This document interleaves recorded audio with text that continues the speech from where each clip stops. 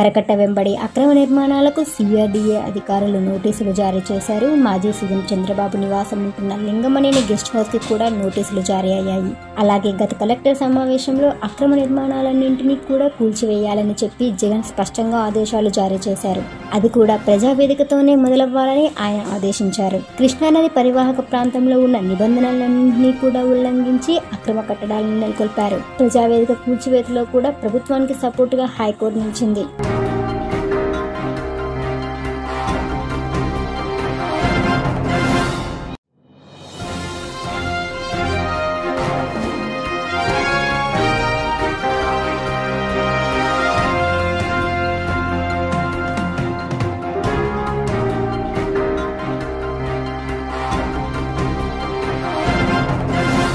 కరకట్ట వెంబడి అక్రమ నిర్మాణాలకు సిఆర్డీఏ అధికారులు నోటీసులు జారీ చేశారు. మాజీ సీఎం చంద్రబాబు నివాసం ఉంటున్న లింగమనేని గెస్ట్ హౌస్కి కూడా నోటీసులు జారీ అయ్యాయి. అలాగే గత కలెక్టర్ సమావేశంలో అక్రమ నిర్మాణాలన్నింటినీ కూడా కూల్చివేయాలని చెప్పి జగన్ స్పష్టంగా ఆదేశాలు జారీ చేశారు. అది కూడా ప్రజావేదికతోనే మొదలవ్వాలని ఆయన ఆదేశించారు. కృష్ణానది పరివాహక ప్రాంతంలో ఉన్న నిబంధనలన్నింటినీ కూడా ఉల్లంఘించి అక్రమ కట్టడాలను నెలకొల్పారు. ప్రజావేదిక కూల్చివేతలో కూడా ప్రభుత్వానికి సపోర్టుగా హైకోర్టు నిలిచింది.